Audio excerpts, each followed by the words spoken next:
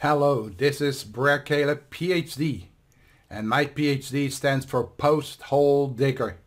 We are going to work on the proper foundation for the prodigal son and daughter. When the truth is too much, and why I stopped celebrating Christmas. Brer Caleb, PhD. You see, the truth should not go to the dustbin of history. And we're happy about this, that we are able to make sure that it won't happen. However, the, tr- the truth will allow no one to escape the law and justice, even if they were a US president. However, has the body of Christ been hollow and meaningless for malpractice and strategic blindness? Or was the power trip too much for the leadership? Those are issues that I would like to deal with today. Sensitive issues, but in reality, so extremely important because we live in a day and age that we need to address the reality. And going through a pandemic, some people are wondering, is this the end time? Well, for some it will be. When you face an imminent death or through the pandemic you get hit and you die then that is the end for it. However, spiritually, we can be prepared because there is a change. There's not only a change coming, but there is a change possible for everyone. But we, we human beings, we mankind, we need to be aware of that change. And that is called a paradigm shift. We might have a problem with it because we've been told for so long and for almost our whole life what the way was, the way, the way, the way the body of Christ saw the way. But what if they were wrong? Another oxymoron exposed, restorative justice.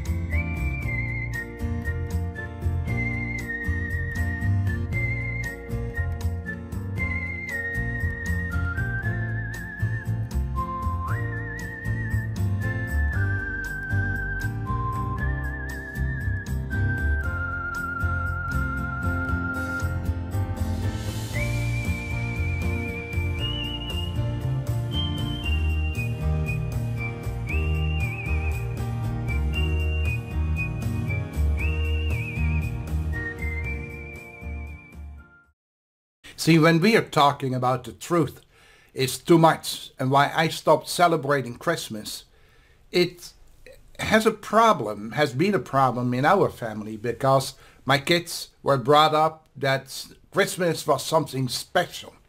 I was raised a Christian. My wife and I became both Christians because my wife came out of, of a Muslim family and that is why we had a little bit of understanding to do. She always liked Christmas. Even her mom as a Muslim, she had a Christmas tree for the, for the kids. But for my wife, she really enjoys having Christmas. Uh, Christmas packages, the whole thing with Christmas and everything around it. But for me, as I changed, and as I became familiar through the court cases that we were dealing with for the past 12 years personally as self-defense in Canada, I became aware that a lot of things that were considered truth were falsified truth. How can you say that? Falsified truth is simply a lie. A lie that has been so sophisticated and has been shared over many generations that we did not question it. But as I learned in court that evidence is extremely important, I started to wonder why do we have so many discrepancies? If I am supposed to be a Christian, if I'm supposed to love my neighbor, and I go after them because they don't believe the way I believe. Or I kill people, or at least the generations that I've been watching, they're going out to kill someone because they are not the same as believers as the other group. Then something is wrong. Because the more I study, and when I say study, reading the old books, when I say old books, I'm talking about the books written in Aramaic, the language that Yeshua HaMashiach spoke, or most people know him by the name of Jesus. Well, when I come to that understanding and realize that in Aramaic, the language that God spoke was different than the way it sounds in Greek, then I wonder, why is that? What else have they changed for us? I've spoken with some friends of mine, professors, pastors, people that really love the Lord. They have come to their own development, their own understanding. They're now retired. But I find it amazing, hard to continue conversations people that refuse to talk about this. And so that is why this information is important because this information takes many forms. Sometimes it's a manipulated photograph. Sometimes it's a rumor that people share with each other. And particularly now with our social media.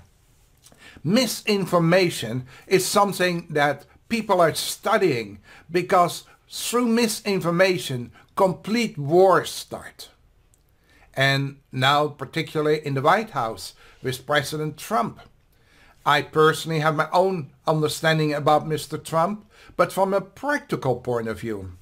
It is sad to see that a man that is so sophisticated or claims to be so sophisticated, he is a self-made billionaire. And it turns out that daddy gave him only $453 million. Now to be a self-made billionaire, that means you become a billionaire on your own with $1 to start off with and not because you inherited half a billion dollars and just uh, value of the properties because there was a lot of property involved that alone made him a billionaire. But then to find out that this man through his own mouth condemns himself because he lies, he cheats, and he is supported by the body of Christ. The majority of them Christians one form or another. Either the Roman Catholics or the Protestants or the Mormons or there are different types of religions that are supporting him.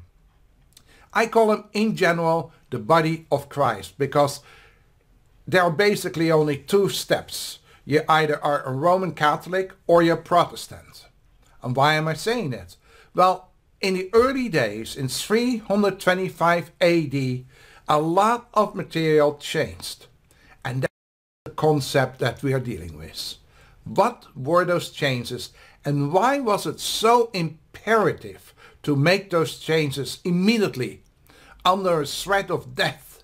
Because if you did not accept that, you were thrown in the arena and killed by the lions or the soldiers. But one way or another, if you did choose against it, you were killed. Period. I believe that we've dealt a couple of times now already with 325. So if you are not familiar with the 325 AD, the time that a empire, emperor of Rome by the name of Constantine I decided to become a Christian and make Christianity the Roman Catholic Church under his conditions, you should go back to some of the other videos. However, the bottom line is somebody in 325 AD, that is Anno Domino, that is after Jesus Christ was born, decided to create one religion. He was there to protect his empire. And we see the same today. We're now living in 2021, January. We just started out. And we're seeing already a power grip from somebody that lost the elections, Mr. Trump. And if you read and, support, and check out who is supporting Mr. Trump, somebody by the name of Bibi from Netanyahu, from Israel. That is wonderful. Then there is somebody else that is connected to the Khazarian mafia. Uh-oh, what is that? Then there's somebody else connected to another mafia. And you wonder, who are those people supporting Mr. Trump? And then we have the body of Christ supporting Mr. Trump, prophesying this is the man of God and he is the chosen one. And I find it always peculiar when the mafia, when the people that are most interested in keeping a man like him in office, why the Christians are supporting him as well. And this is what brings me to Christianity and Christmas. What is it about Christianity? What is it about the body of Christ? We have some weird alliances lately. Or maybe those alliances have been there all along. Maybe they have been there from 325 AD. And what happened then before 325 AD? When Jesus was born in a manger. Ah, now we have a major problem. Because we are dealing now with Christmas. Christmas was one of those days that Jesus was primarily recognized being born on December the 25th. But we know by just simply going through the evidence that we are celebrating the solstice. We also know that during the time of the Emperor of Rome, he had a lot of people that he had to satisfy. And many of them celebrated in December the changes of the longest day and the shortest day of society. And so what the emperor did, he mixed the two together. And he made the pagans Christians by making the Christians pagans. And so now we as Christians, we are celebrating Christmas because, oh, how wonderful. And we have such wonderful songs. You have tears in your eyes uh, watching the TV, you watch all the movies. It is incredible. It's so nice. It's so beautiful. But is it logical? Technically, it doesn't even make sense. If it was in the middle of the winter, then we have a little problem with the sheep. Sheep cannot really run in the middle of the winter. Then we have the public holidays that are Christmas. Wonderful. But they're religiously celebrated by most Christians and culturally by many non-Christians. And they form an integral part of the holiday season centered around it because majority of businesses make one third of all their income of the annual income during the Christmas season. So how do we deal with the deceptive and unwanted programs that convey a great truth? Do you know that some of the popular teachings and beliefs surrounding Christmas are not true? This might surprise you, and the saddest part is that most people think of them as being true. If you do not want to be fooled and left in the dark, you need to continue going and watching this video. Why should we know the truth? Because the Bible tells us to prove all things in 1 Thessalonians 5 verse 21 and that the truth shall set you free. And John 8 32 if we want to worship God we need to do it in truth and in spirit. Here are some errors and fallacies and lies being taught and propagated during Christmas. We've never had a means by which information can travel su at such speed and we have never had a means by which anybody can create fabricated content really, really easy. And that is called social media. But how come that this truth is hardly known or people prefer not to pay attention to it? What is it that people do not want to hear? Did you know that Christian holidays is largely a recycled pagan celebration? Surprisingly true. Consider the customs associated with Christmas. What do decorated evergreen means? Holy, hollies, mistletoe, Yule logs, a jolly plump man in a fur-lined red suit, slates and flying re reindeer. What do they concern with the birth of Jesus Christ? No things have anything to do, nothing has anything to do with him.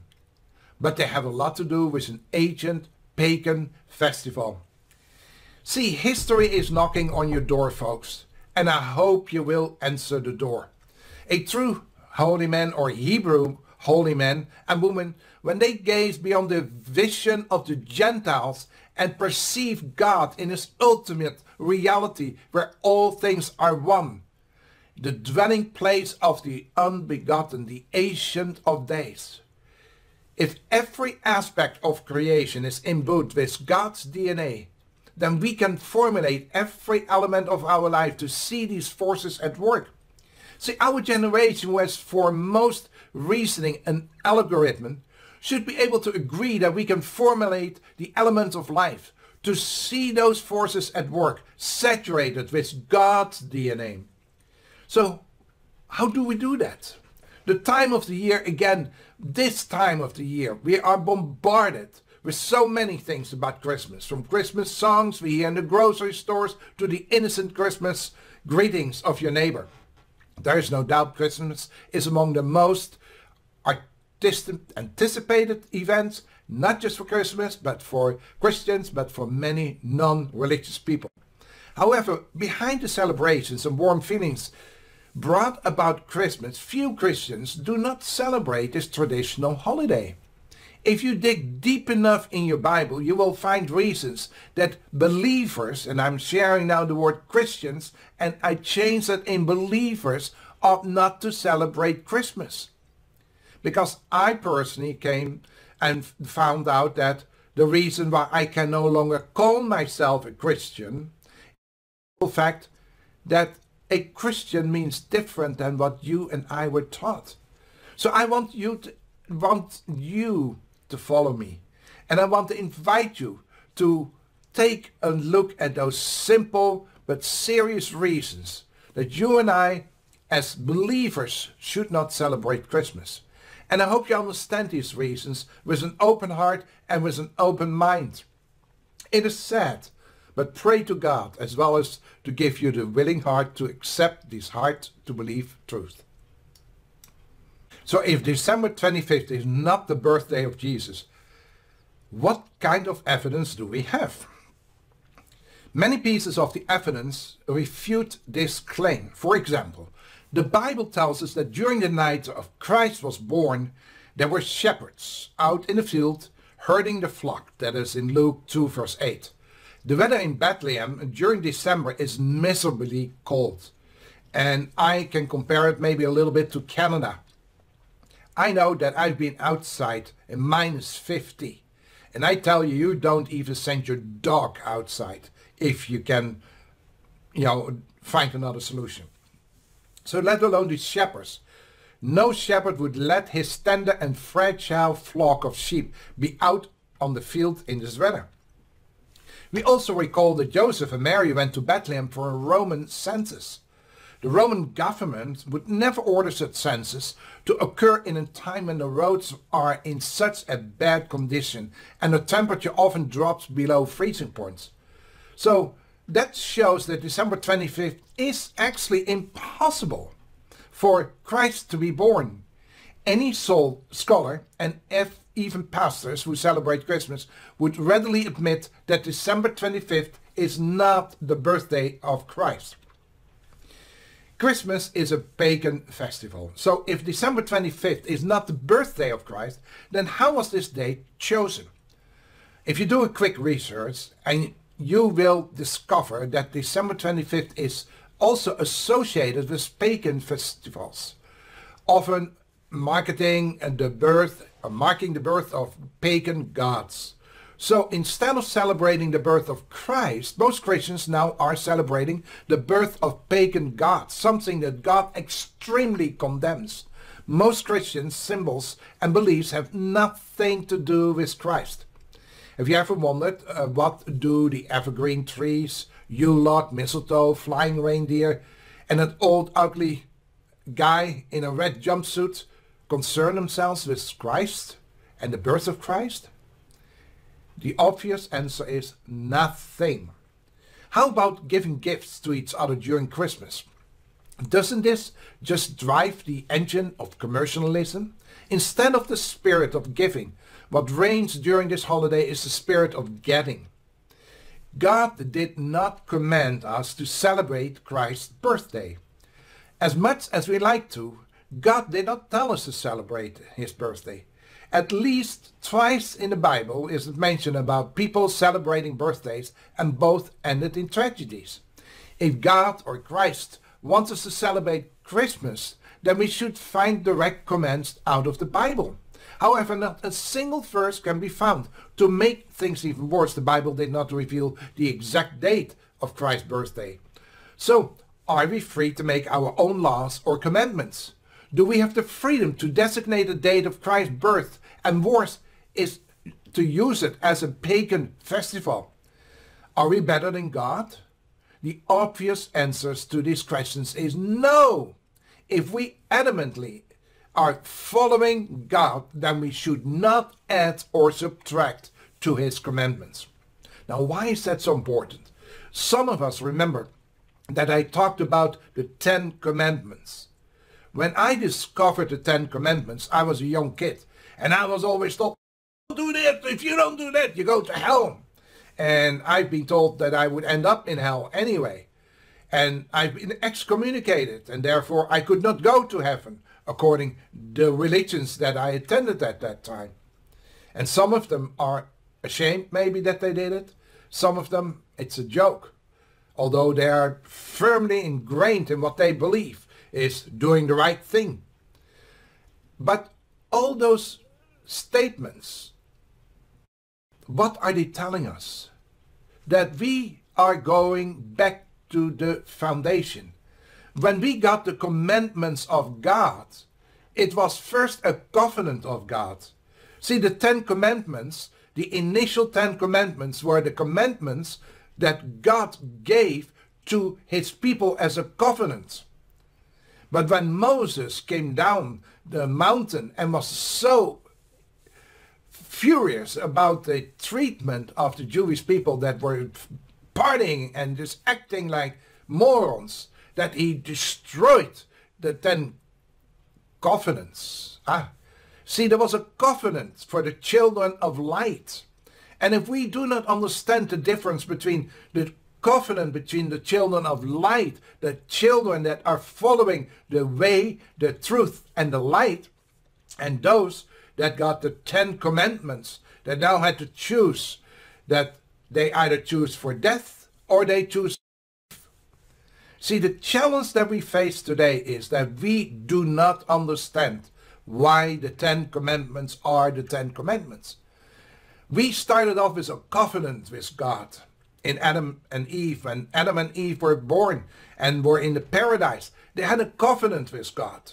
And God wanted to ratify it, but before that happened, Satan or Beelzebub had already manipulated his ways through. And so Adam and Eve got kicked out just to save them. Otherwise, they would have been destroyed forever. And now the restorative justice started. And so God found Abram, Abram, Enoch, and then Moses. And Moses was the man that was going to be used to bring the people out of Egypt. But amazing grace, they goofed up. And the covenant that God had created for the children of light had to be postponed. And then when Yeshua finally came, a couple of thousand years later, and he cried out, Abba, Father, it is fulfilled. Now the law was completed because God is law. When God speaks and he created mankind, they were created physically, they were created mentally, and they were created spiritually. They would live forever. We have got to live forever. But in order to live forever, we needed to understand the spiritual aspect of that. And that is why it is so important to understand when God says, I want you to follow the way, the truth, and the light. That we call ourselves not just Christians, because Christians are the ones that are following a pagan God, Serapis, he was around in 325 BC before Christ was born, and the followers of Serapis were called Christians. And based on that, the Emperor of Rome, Constantine, he decided to call them Christians based on the fact that they were following a pagan god, not Jesus the Christ. And his name was never Jesus. His name was Yeshua HaMashiach. But again, during the times in 325, when the changes occurred, there was a book written about this situation. And those books were all established in the coronavirus. And you say, what is that? That is the vault of the Pope. And Pope Francis made that available a couple of years ago. And in that vault were 53 miles of books and material, manuscripts written in the old Aramaic, the language that God spoke, that Yeshua spoke. Because Yeshua didn't speak Greek, he spoke Aramaic. And as such, he went out, and that language was an old language for us. Was translated into English. And in 1929, somebody spent many, many, many decades to develop and translate the books in English. And I got a hold of those books. And it shared what God wants us to do.